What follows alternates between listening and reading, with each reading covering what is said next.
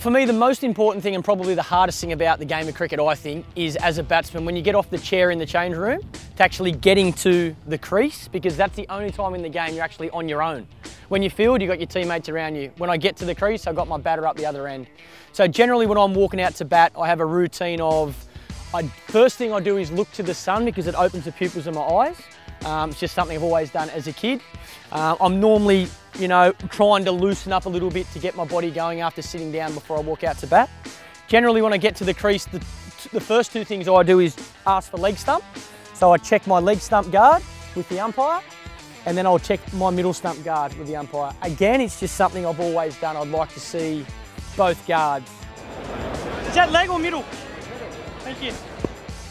I generally put my feet uh, in between middle and leg stump. So my bat is tapping on middle stump, which is generally behind my toe as well. Slashing front foot cut. That's a solid start.